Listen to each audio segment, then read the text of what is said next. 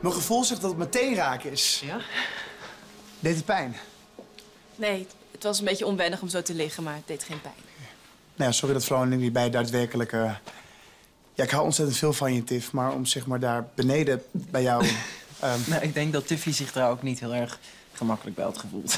Toch? Zullen wij vanavond anders lekker met z'n drietjes decadent uit eten?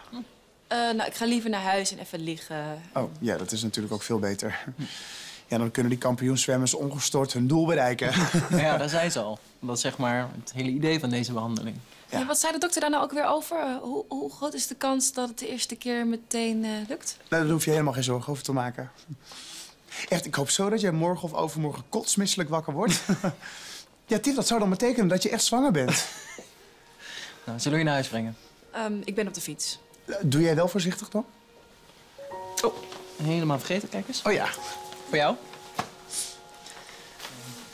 Om te laten zien hoe dankbaar we hier zijn. ja. Het valt natuurlijk helemaal net niks bij wat jij voor ons doet, maar... Nee, we gaan jou echt gruwelijk verwennen de komende tijd. Ik vind hem heel mooi. Ja? Ja. ja. En daarom past hij ook zo goed bij je. Tiff, dank je wel. Duizendmaal dank, echt.